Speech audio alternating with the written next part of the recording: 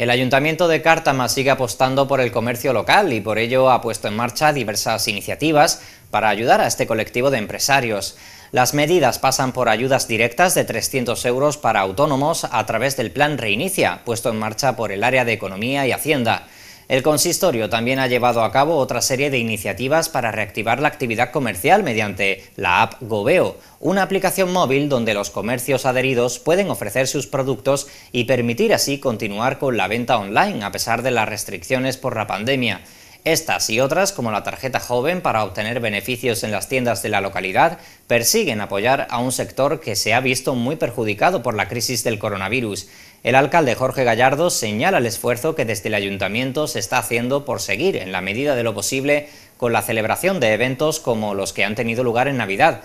Así lo explicaba durante una entrevista en las instalaciones de Málaga 24 Horas Televisión tenemos que de alguna forma seguir manteniendo la ilusión, igual que en la cabalgata de, Reyes, que hacía una cabalgata estática, pues en este caso la ilusión de los más pequeños, la actividad deportiva, no nos podemos tampoco quedar encerrados en, nuestras casas y, no movernos, ¿no? Yo creo que la actividad física es también salud, por eso de alguna forma, dentro de las posibilidades, siempre y siempre, lo decimos, con la protección por delante. Seguramente todavía no hemos tomado la decisión, pero bueno, los próximos eventos importantes, que podrían ser carnavales, pues los tenemos suspendidos y ya pues de cara a las ferias, que serían abril y mayo, pues ya digo, de momento no la hemos suspendido oficialmente, pero bueno, mucho me temo que por, por como vamos a nivel nacional y mundial de, casos de contagio, pues